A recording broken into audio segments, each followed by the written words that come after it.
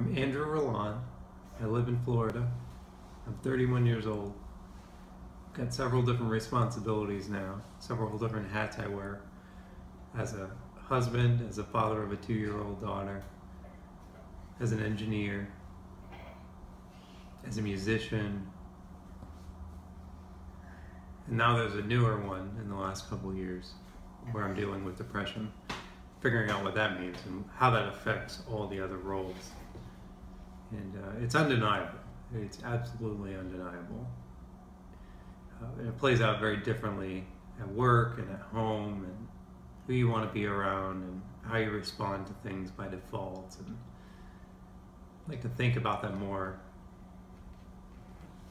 I kind of pull back the curtain about what it's like to deal with these thoughts, to deal with your different energy levels and motivation and how you kind of have to kick yourself in the butt to get anything done.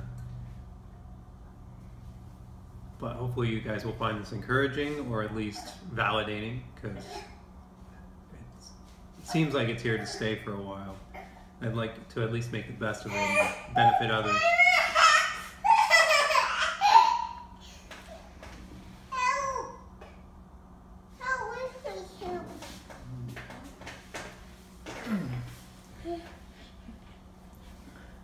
Worst case, it's just for my own sanity's sake, but maybe somebody will find this entertaining.